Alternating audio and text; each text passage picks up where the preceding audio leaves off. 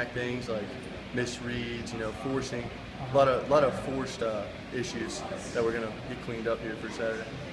Like for you, what are some of the issues? Uh, you know, mainly just uh, making sure I'm playing low all the time, 100% of the time, uh, away from the ball, on the ball, just staying low, playing low.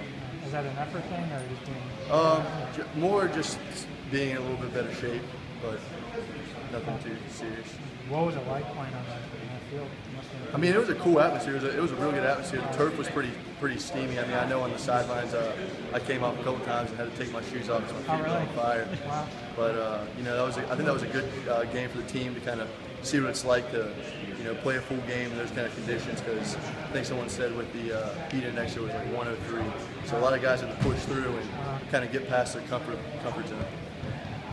Curious, uh, it seems like the, the last two games, the first two games, getting the, both sides getting off to a good start has been a challenge. What do you feel like? Yeah, I mean, definitely. I mean, that's an issue. I mean, you know, we came out Saturday, turned the ball over the first play. Um, you know, as each week gets on, we get into uh, bigger and better competition. So we, we have to eliminate those, those mistakes if you want to uh, stay perfect. Is it something you feel as a team like so you're not quite there? Or? No, I mean, I don't think I don't think it's an effort thing. I just think it's uh, you know just guys got to make plays and uh, you know do the little things that were uh, taught throughout the week, the uh, individual drills, you know, protecting the ball. Right.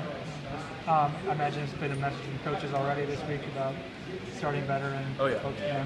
Yeah, I mean, that, uh, like you said, we have to start better. You know, two weeks in a row now, we started off real slow and got ourselves in a hole. And uh, you know, like I said, as the competition increases, we got to increase our level of play.